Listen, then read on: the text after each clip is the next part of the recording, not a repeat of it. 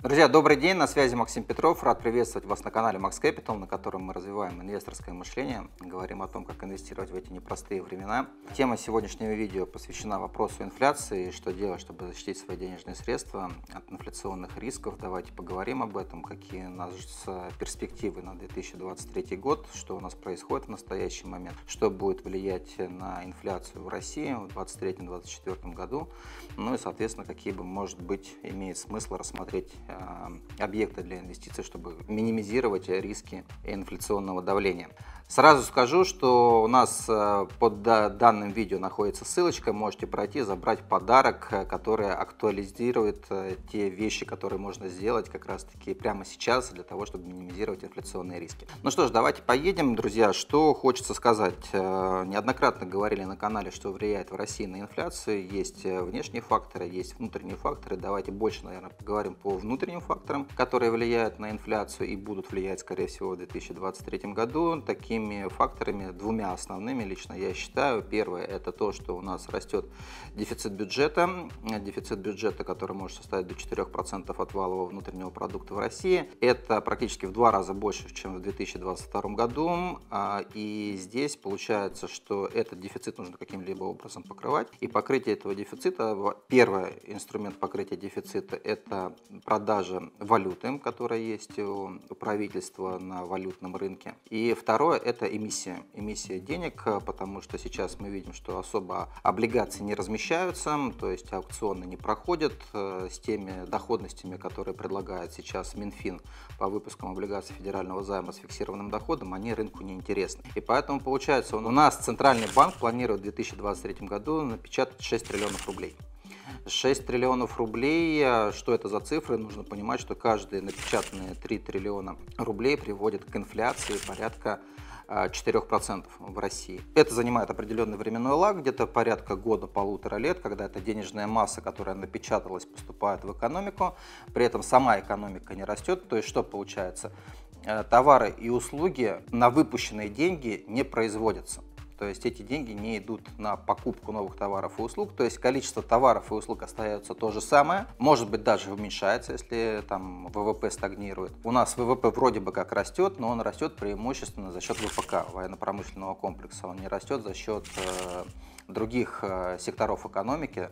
И поэтому получается, что когда у вас денежная масса увеличивается, но сопоставимое количество товаров и услуг не растет, которые бы позволили стерилизовать эту избыточную денежную массу, то начинается инфляция. Количество денег увеличилось, а количество товаров и услуг не увеличилось. В потребительском секторе даже снизилось, да, и поэтому получается, что неизбежно цены будут расти. Это вот как бы первый фактор, который влияет на инфляцию, то, что у нас Центральный банк непосредственно планирует напечатать э, порядка 6 триллионов рублей. Увеличение денежной массы без сопоставимого увеличения количества производимых на территории России товаров и услуг приведет к росту цен на товары. Это вот первый фактор. Поэтому вот первое, на что стоит рассчитывать, на горизонте там полтора два года, как я уже сказал, эмиссия 6 триллионов рублей плюс 8% к инфляции. Вторым фактором, который влияет на инфляцию, это так называемый баланс внешней торговли, да, то есть сколько мы экспортируем, сколько мы импортируем. И, соответственно, то укрепление рубля, которое было, мы наблюдали в 2022 году, у нас, получается, были высокие цены на газ, высокие цены на нефть,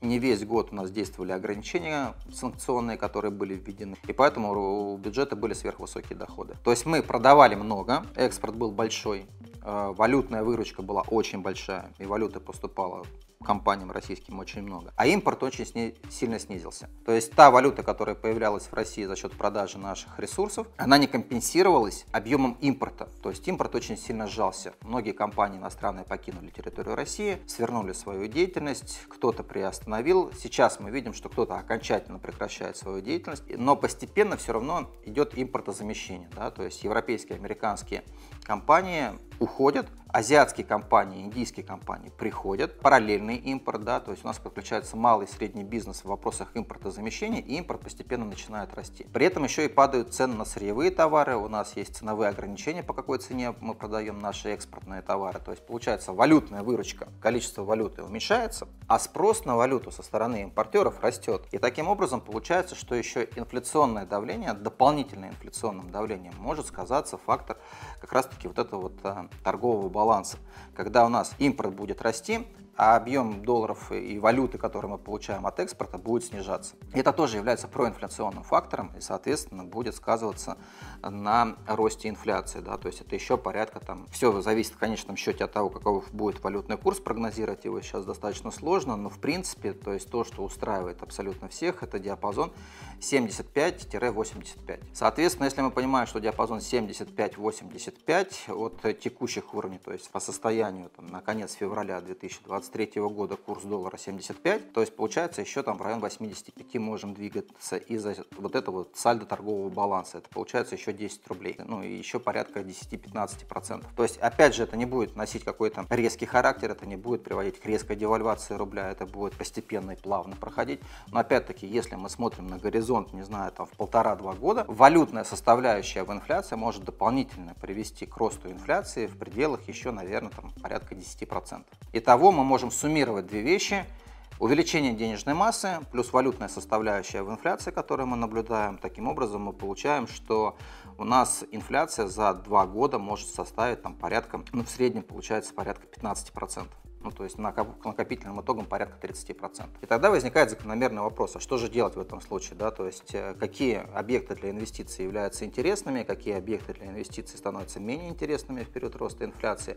Давайте поговорим об этом. Первые классические инструменты, которые доступны абсолютному большинству людей, такие как банковские депозиты, облигации, консервативные инструменты, они, наверное, будут менее интересны. Почему это будет происходить? Потому что так как инфляция будет расти, Центральный банк для того, чтобы управлять этой инфляцией, будет повышать процентные ставки, и, соответственно, процентные ставки со временем будут расти. То есть, если вы размещаете денежные средства на банковском депозите, то старайтесь размещать следующий там, год на короткие депозиты, Потому что если вы разместите на длинный депозит, ну как это было, например, в начале 2022 года, сейчас такие предложения существуют, да, то есть Сбербанк предлагал там депозиты с доходностью 9,5%. ВТБ предлагает сейчас депозиты с доходностью 9,5%. Почему? Потому что опять-таки сидят финансисты, сидят аналитики, которые рассчитывают все эти вещи, которые рассчитывают объем денежной массы, которые рассчитывают э, валютные риски, которые присутствуют, да, и они сейчас готовы привлекать под 9,5% годовых на 3 года. То то есть э, вы вот такие вот привлекательные ставки по сравнению с прошлым годом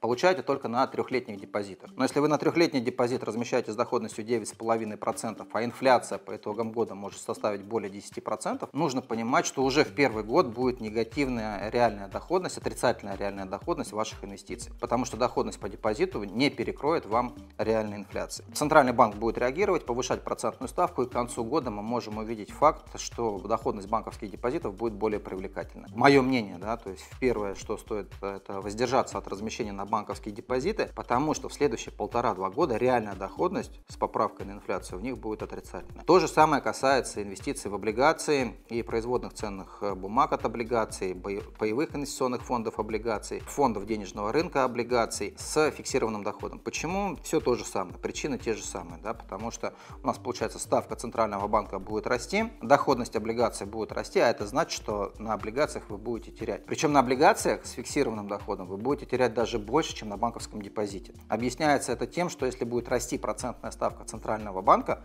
то сами облигации будут падать в цене. То есть у вас сама доходность будет неэффективная. Во-вторых, еще облигации будут падать в цене. И вы здесь можете столкнуться с тем, что если у вас средства размещены в облигациях с фиксированным доходом, вы будете терять. Потому что эти облигации будут еще падать в рыночной цене, и это тоже будет сказываться на итоговой доходности. Что еще, да, то есть э, от чего стоит воздержаться, на что, что стоит непосредственно пересмотреть? Ну, даже не пересмотреть, а усилить. То есть основные риски находятся в надежных консервативных инструментах с фиксированной доходностью. Потому что реальная доходность, поправка на инфляцию по итогам следующих полутора-двух лет будет отрицательной. Если вы являетесь консервативным инвестором, если вы по-прежнему боитесь заходить на рынок акций, то, что имеет смысл в этом ключе рассмотреть в настоящий момент. Первое, что стоит рассмотреть, это облигации правительства России.